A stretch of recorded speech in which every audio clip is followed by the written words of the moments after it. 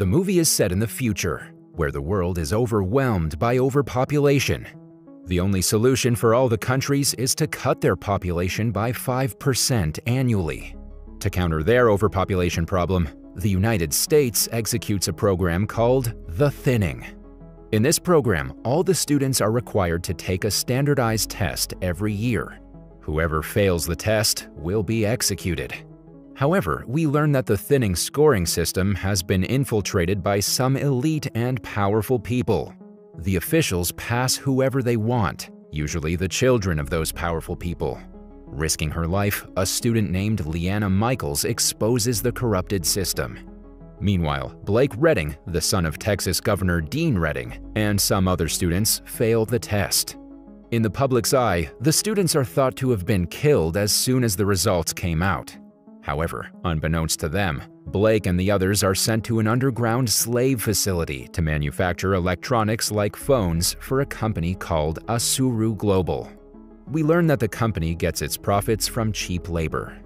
Once inside the facility, they're shown a video where a woman explains to them that they got a second chance at life. The place is known as Incubator, designed by Asuru Global, and the ones who are most productive will have a chance to get reintroduced to society. We see that a teaching device has been inserted in all of their necks, while an automated voice teaches them how to do tasks. The routine is the students have to work 14 hours a day with one hour of dining and personal time. They also have curfews, during which the students have to return to their assigned units and rest. While watching the videos on screen, Blake notices his long-lost girlfriend, Elle. Soon after, he goes looking for her and finds her. The couple plan to meet later during curfew. Next, Blake and Elle meet and rekindle their relationship. They also get intimate with each other. Later that night, Blake and his friend Heather are chatting when suddenly a siren rings, alerting the whole facility. We learn that a student is attempting to commit suicide. He readies himself to jump off the top of the facility. Meanwhile, a group of boys casually encourages the student to jump off. The leader of the group is Cage. Without giving it a second thought, the student jumps off. However, the guards are quick enough to throw a net and save him. Later, we learn that the students who attempt suicide or refuse to work are sent to a restricted room, where they are injected with some kind of drug in order to incapacitate them. The next day, Cage visits Blake in his unit and tells him to stay away from Elle. She is now Cage's girlfriend. Later in the cafeteria, Ellie sits alone when she's interrupted by Cage. He greets and kisses her, but Ellie seems uncomfortable around him. Blake, not far from their table, furiously watches them. Cage and his team take off to do their duty. They're called the Worthy since they've been handpicked by the incubator to supervise other workers. When Cage leaves, Blake approaches Ellie and tries to talk with her. Fearing for his safety, she advises him not to talk with her in public. Just then, Cage's men spot Blake and ask him to go away. The latter gets mad and ensues a fight with others. Soon, Cage himself arrives and overpowers Blake. Later, Blake attempts to run away with Ellie, but they're caught by Mason King, the ex-supervisor of the thinning standardized test. He's been recently relocated to the incubator as the facility in charge. The guards take Ellie away while Blake's leg is twisted and broken by Mason. Meanwhile, in Texas, the townspeople are attending Blake's funeral as they believe he's dead after his failed test. There are also reporters who try to interview Blake's father, Governor Dean, regarding his run for the presidential elections. We also see Lina on the premises, who's been popular among the reporters after she successfully exposed the corrupt thinning test. In the next scene, we learn that the exposed foul scoring system harmed Dean's reputation. However, he and his PR team managed to put the blame on Mason King. Realizing that Mason isn't the only one to blame, an FBI named Agent Joanne Morris is investigating the incident. One day, Agent Joanne visits Lena at her home and tries to get information from her. However, Lena refuses to disclose anything. After the agent leaves, she hears a knock at the door. It's Jack, an Asuru global security guard, who has come to give her an invitation from the Governor Dean. Next, Lena goes to visit Dean at his premises. The governor attempts to get her support for his presidential campaign to mitigate his own controversy surrounding the thinning test system. She strictly declines and leaves the premises. On her way back, Lena is greeted by Georgina, Asuru Global's CEO. We learn that Asuru Global helps the governor financially in his election campaigns. Hence, Dean and Georgina work closely together. The CEO, Georgina, suggests Lina help the governor in exchange for smuggling her siblings out of the country. The CEO adds that her siblings don't have to go through the test if Lena agrees to work for the governor. However, she still refuses. In the next scene, Jack drives Lena and her siblings back, but he goes further than their home. Lena realizes this and worriedly asks him. Just then, Jack releases a gas in the car, making all the passengers unconscious. Lina later wakes up in an abandoned construction site where Jack and some other people are standing in front of her. Among them is Ms. Cole, her sibling's school teacher. Jack reveals that he and Ms. Cole, along with others, work for an organization called The Fight, which is against the thinning system. If Dean becomes the next president, the thinning system will never come to an end, so they need Lena's help. They want her to accept the governor's offer in order to earn his trust and get close to him, with hopes that this will help them end the thinning for good. Lena agrees to help. Meanwhile, her best friend Kellen gets an internship at a TV news company. That day, he's doing research on the process of the thinning program. He discovers that no one handles the dead bodies after the execution. Later that night, Kellen goes to Lena's house and tells her about his research findings. The two curious friends go to the cemetery and begin to dig Blake's grave. Shockingly, they find the coffin empty. The scene cuts to eight months later, two weeks before Election Day. Lena continues her support for the governor's campaign. In between, she also continues to provide information to Jack and Ms. Cole. However, she's fed up promoting the governor's campaign and confronts them at their meeting place, the construction site.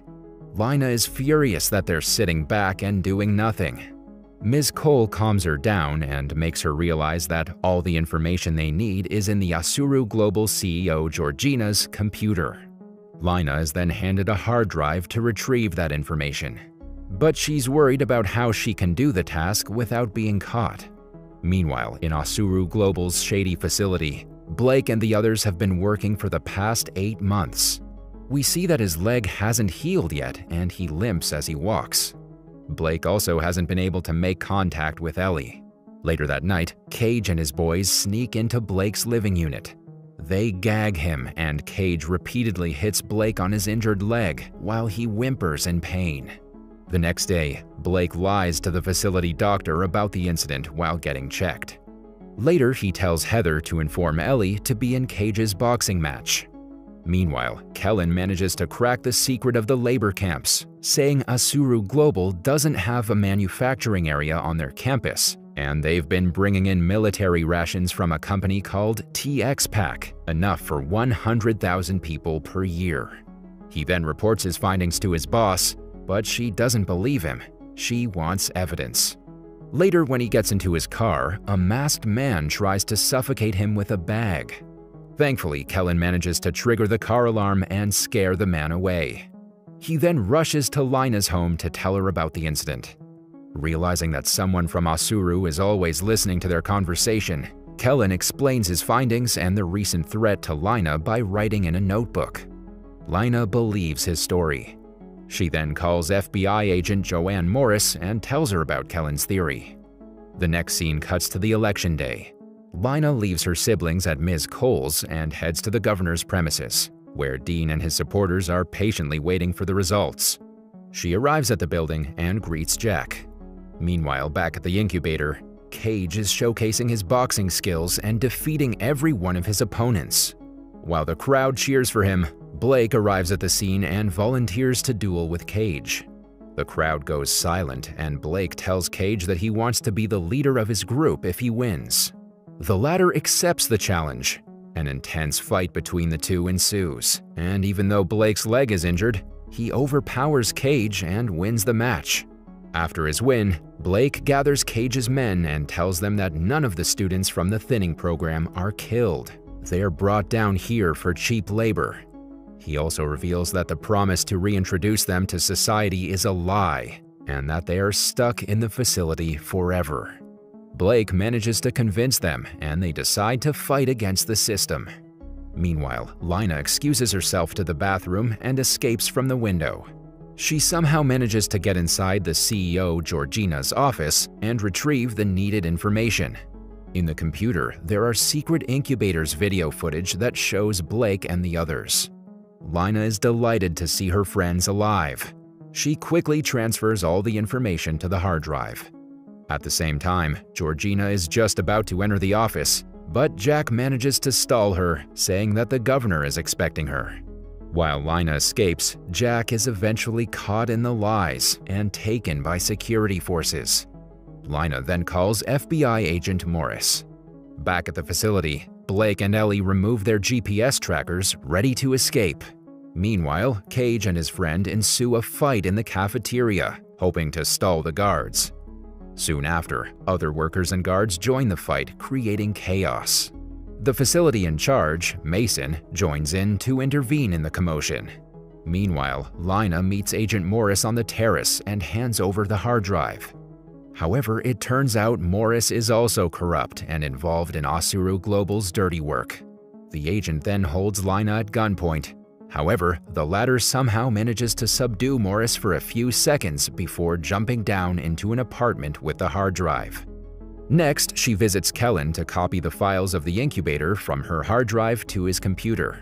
Kellen leaves for the office and gets in his car, which explodes when he turns it on. Sadly, he is killed during the explosion. Fearing for her life, Lina takes the drive and leaves for home. It's revealed that Morris and her men, both working for Asuru, killed Kellen and were planning to kill Lina to tie up loose ends.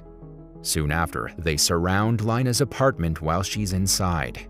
Morris camps behind a staircase outside, while her men go inside the apartment. Alerted about their presence, Lina sets up a trap. Seconds after the men enter inside and fall into the trap, the apartment blows up in flames, killing everyone. When Lina attempts to escape outside, she's attacked by Morris on the stairs. However, Lina kills the agent by stabbing her with a box-cutting knife, then shoving her down the flight of stairs. In the next scene, Lina makes it to the news channel her friend used to intern in, where she turns over the drive to Kellen's boss. Meanwhile, Blake and Ellie dress up as nurses and sneak into the basement, not knowing that Mason is following behind them. The pair climbs up a ladder and escapes outside in the middle of the Texas desert. They celebrate happily just when Mason attacks them from behind. Luckily, the news channel's helicopters arrive at the scene and record the video of the incubator's opening with Blake and Ellie on it. When Mason tries to kill Blake, Ellie attacks him from behind and kills him. She and Blake then get to safety. In the meantime, the governor wins the election and becomes president, only to see a live broadcast of Incubator with Blake on it. He's both surprised and delighted to see his son alive. Turns out the governor wasn't aware of Asuru's dirty secrets. But since he's also overpowered by CEO Georgina, he cannot take any action at the moment. With full power and authority over the entire nation, Georgina arrests everyone who conspired against the thinning. Elsewhere in the Texas desert, Lina catches up with Blake and Ellie, but they discover that Georgina will end democracy and freedom in the nation. They are arrested and taken in a military vehicle. Thankfully, Jack arrives and saves the day, freeing his friends. He claims that he works for the FBI. Jack adds that they have to defeat Georgina's dictatorship and bring things back to normal.